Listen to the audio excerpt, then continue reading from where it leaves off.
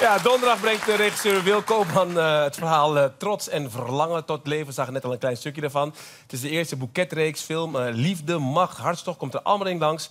En Noortje Herlaar moet letterlijk met de billen bloot. Het is de guilty pleasure van menig vrouw. De befaamde boeketreeks boeken. De verhalen over onbereikbare liefdes en spannende affaires neemt de lezeres mee in een wereld vol glamour, hartstocht en verleiding.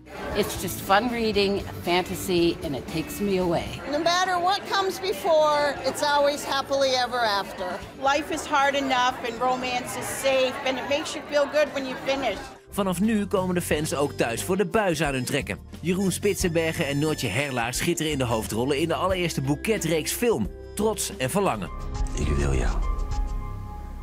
Jij wil mij. Gooise vrouwen en divorce-regisseur Wil Koopman heeft regie voor haar rekening genomen.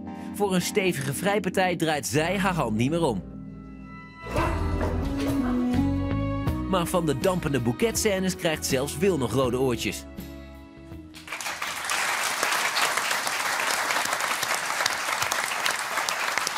Dat genre bestaat nog niet in Nederland. Nee.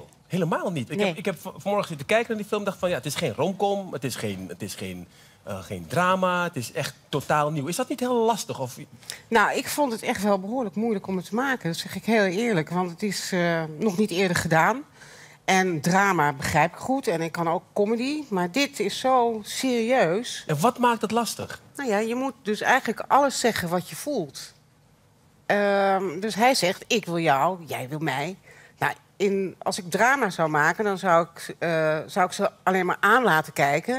En dan zou hij haar grijpen en enorm kussen. Ja. En dat is het dan. Maar hij spreekt dus alles uit wat hij voelt. En dat maakt het dus gewoon anders. Merk je dat ook bij het spelen nooit? hè? Dat je dat inderdaad, inderdaad alles uitspreekt? Ja, ja, tuurlijk. Mer nou ja, dat, ja dat, dat merk je, dat, dat zie je ook in dit fragment. Ja, het is ook heel lachwekkend af en toe om het te doen. Maar Jeroen en ik hadden allebei zoiets, we moeten daar gewoon vol voor gaan. En wij wilden gewoon dat avontuur wel aangaan om te kijken of het zou werken ook.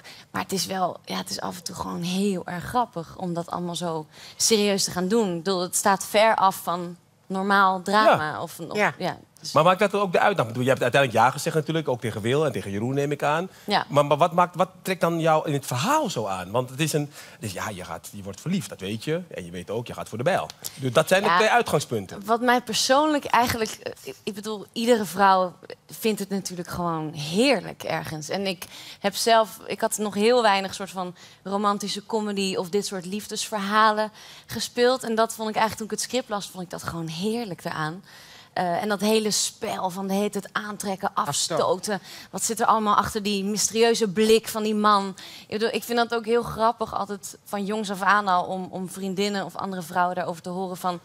Vrouwen fantaseren altijd een end weg van dat een man is dan eigenlijk heeft alleen maar mysterieus en is alleen maar stil geweest en een vrouw Kijk, denkt dan dat daar de minister, ja ik kijk ja, maar En ik zijn enorm Ja, ja, ja, ja, ja, ja. hier. Ja. maar ehm, Ik kijk nee, alleen. hè. Dat weet ik ja, dat bedoel ik. Hij kijkt alleen en een vrouw denkt dan dat daar zeeën van poëzie en gevoeligheid achter schuil gaan. En daar gaat ook dit ook over. En al die gedachten en al die fantasieën van die vrouw. En dat, dat vond ik eigenlijk heel geestig om, een, ja, om me een tijd zo in onder te dompelen.